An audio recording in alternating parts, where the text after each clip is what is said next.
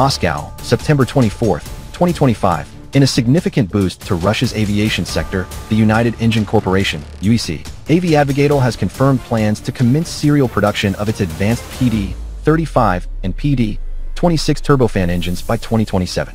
This announcement, building on recent high-level endorsements from President Vladimir Putin and Deputy Prime Minister Denis Manturov, signals Moscow's determination to achieve technological sovereignty in high-thrust aero engines, reducing reliance on foreign suppliers amid ongoing geopolitical tensions.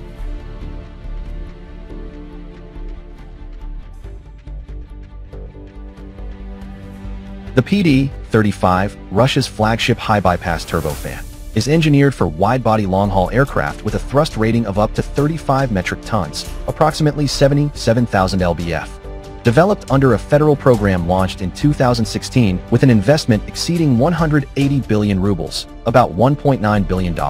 The engine incorporates cutting-edge technologies such as wide-chord composite fan blades over 3 meters in diameter, ceramic matrix composites for high-temperature tolerance up to 1,450 degrees Celsius, and a 23 to 1 compressor pressure ratio. These features aim to rival Western counterparts like the GE9X or Rolls-Royce Trent XWB in fuel efficiency, emissions reduction, and durability.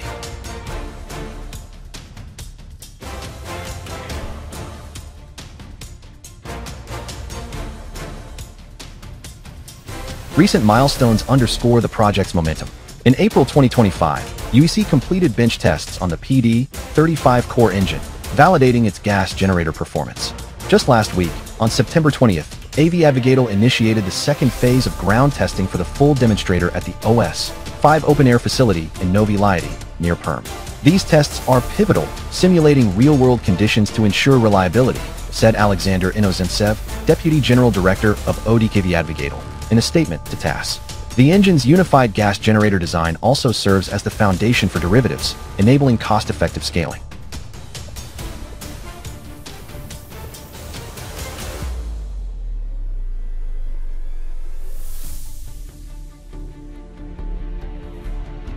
Complementing the PD-35 is the newly unveiled PD-26, a 26-ton thrust variant optimized for next-generation transport and passenger aircraft. Revealed in late August 2025, the PD-26 leverages the PD-35's core architecture, adapting it for military-civil dual-use applications. First Deputy Prime Minister Manturov highlighted its versatility during an Eastern Economic Forum interview, noting its potential to power a proposed family of wide-body twin jets and heavy airlifters. The PD-26 will equip future high-capacity transports, bridging the gap between current PS-90 engines and tomorrow's needs, Manturov told TASS. President Putin's direct intervention has injected urgency into the timeline. In June 2025, he affirmed at a public administration forum that plans to create the PD-35 will be implemented, emphasizing its role in powering domestic widebodies like a successor to the IL-96 or the ill-fated CRAIC CR-929, a Russia-China joint venture stalled by sanctions.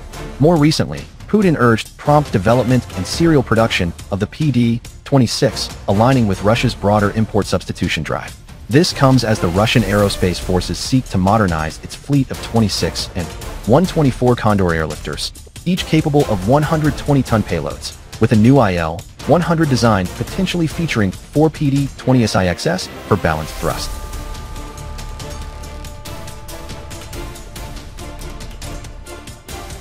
The 2027 serial production target marks a recovery from earlier setbacks.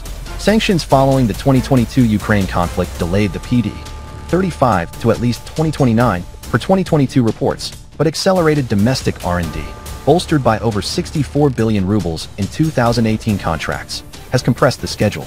Experts estimate mass output could begin in Perm's Aviadvigatel facilities by late 2027, with initial runs of 10 to 15 units annually, scaling to 25 by 2030. This aligns with UEC's ramp-up for related engines. PD-14 production hits 10 units in 2025, rising to 25 by 2027 for the MC-21 narrow-body jet, whose first PD-14 batch was delivered in February.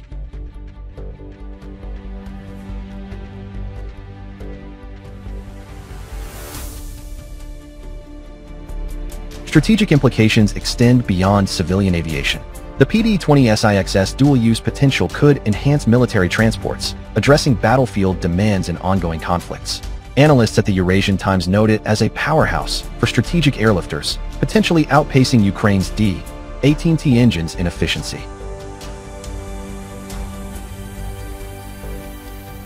Internationally, Russia eyes exports. The PD-35 was pitched as an alternative for China's Comac C929, though ties have cooled.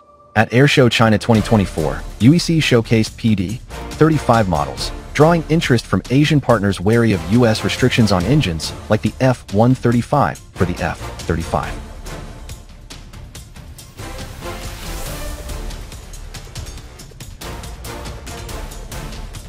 Challenges persist. Funding remains a hurdle. Total PD 35 costs could exceed 200 billion rubles, while material innovations, like silicon carbide composites for fan blades, demand rigorous validation. Competitors like Pratt & Whitney's $255 million Oklahoma facility for F-135 production highlight the global race. Yet, Russian officials project a 15 to 20% fuel savings over legacy PS-90s, positioning these engines as eco-friendly assets in a net-zero aviation push.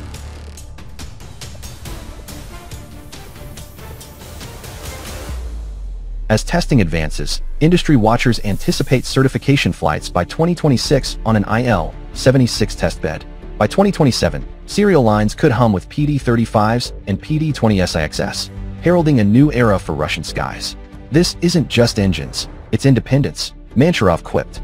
With Putin's backing, Russia's aero engine renaissance appears firmly on track.